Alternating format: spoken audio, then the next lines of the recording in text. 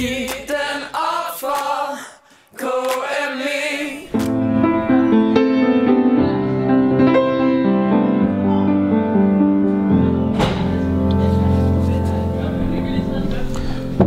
Det bedste ved at gå på efterskole, det er at være sammen med 114 fantastiske dejlige mennesker hver evig eneste dag.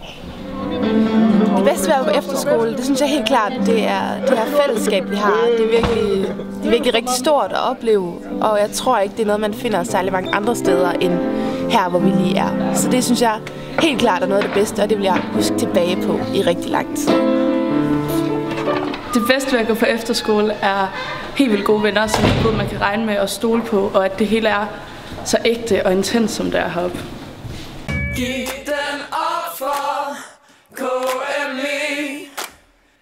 Tá da ik